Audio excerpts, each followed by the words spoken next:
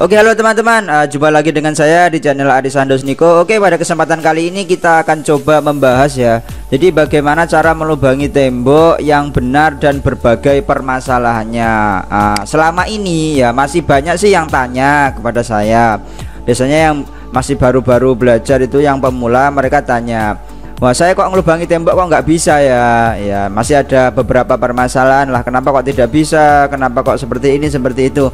Oke uh, Untuk membantu mereka ya mudah-mudahan ini bisa bermanfaat. Kali ini kita akan coba bahas. Oke langsung saja. Jadi sebenarnya simpel saja ya Untuk melubangi sebuah tembok.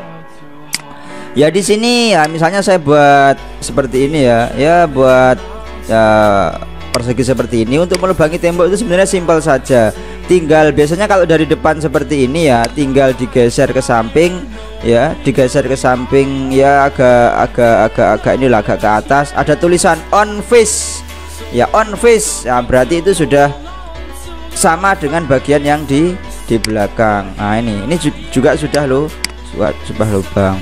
Oke sekarang untuk permasalahannya kita bahas ya. Oke kita bahas di sebelah samping. Nah ini Nah misalnya saya punya tembok nih ya saya punya tembok. Ya ukurannya 4 kali 0,15 katakanlah seperti itu.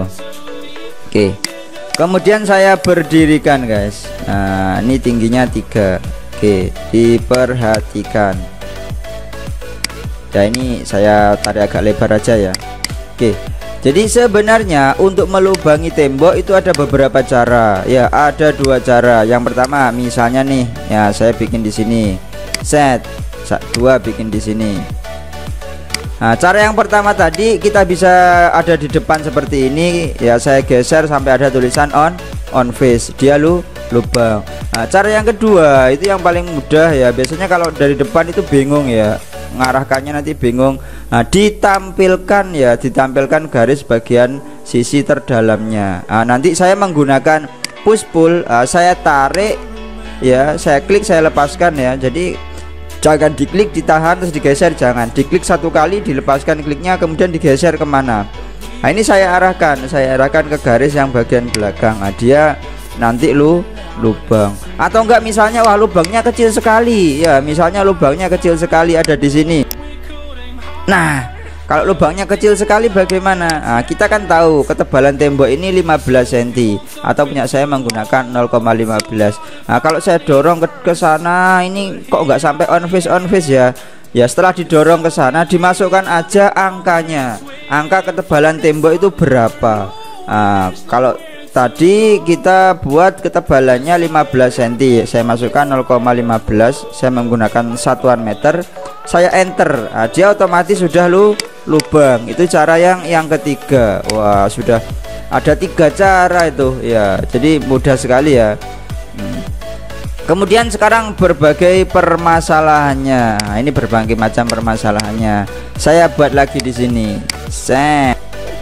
Ya katakannya 5 0,15 cet biasanya guys. Ya ini saya tinggikan dulu. Wah, langsung biasanya biasanya. Cet. Nah ini tingginya 3 meter. Ah, biasanya ketika kita buat rumah ya ini mungkin bagian luar ini bagian dalam. Ya saya bikin dulu lah ininya. Apa namanya? Nah biasanya kita kan kalau bikin rumah ya antara sisi luar dan sisi dalam itu lebih tinggi sisi yang dalam Terkit terkadang ya kita ini terburu-buru untuk menaikkan ya. Misalnya ini lantainya oh lantainya lebih tinggi lebih tinggi. Ya seperti ini lebih tinggi. Nah dia lebih tinggi sama yang bagian depan. Nah misalnya ini bagian depan. Nah misalnya seperti ini. Nah ini kan tingginya tidak sama guys. Ya ini tingginya tidak sama. Terkadang kita langsung buat aja seperti ini. Ya Pintu di sini set 2 1,2 ukuran pintu. Kemudian kita lubangi. Kita dorong sudah on face jebret. Loh kok tidak bisa? Saya kontrol Z Saya ulangi. Cara yang kedua. Wah ini cara yang kedua dari Mas Niko ini. Ya saya klik saya lepas saya arahkan. Jebret. Loh kok tidak bisa? Kenapa? Ya ini tadi permasalahannya karena ya antara depan dan belakang itu tingginya tidak sama guys. Jadi dia tidak bisa dilubangi. Ya sebenarnya sih bisa saja. Tinggal saya klik saya tekan delete lubang ya. Nah tapi terkadang ya ada permasalahan seperti itu. Kemudian ada permasalahan yang kedua. Biasanya di sini ada garisnya guys mungkin kalian tidak tahu di sini ada garis tiba-tiba ya. Mungkin kalian habis buat-buat garis dari mana-mana ketika diberdirikan ini muncul garis biasanya. Nah, jadi diperhatikan dulu ketika mau melubangi tembok diperhatikan. Di belakang itu ada garisnya enggak? Ketika ada garisnya seperti itu saya bikin jendela di sini. Tingginya ya uh, seperti itu. Uh, ketika saya dorong jebret tidak bisa meskipun ya saya ulangi saya kontrol Z. Meskipun di sini tingginya sama guys.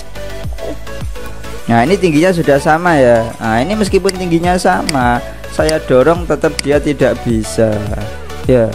Nah, Karena apa? Karena ada garisnya ini tadi. Jadi uh, tidak bisa. Jadi itu berbagai macam permasalahannya. Kenapa sih kok kalian Saya kok susah ya mau ngelubangi tembok? Ya itu tadi ya.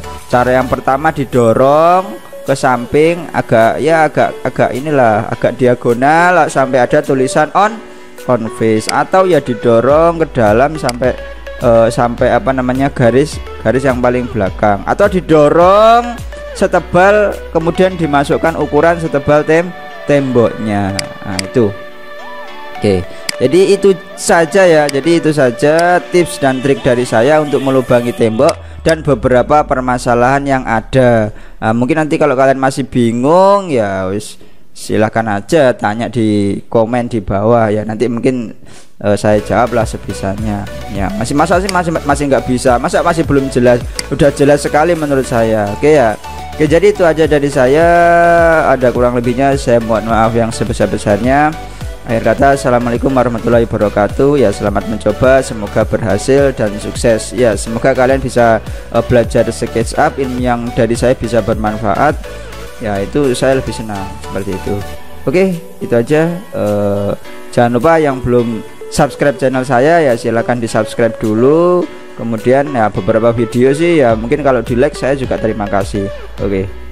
Oke dadah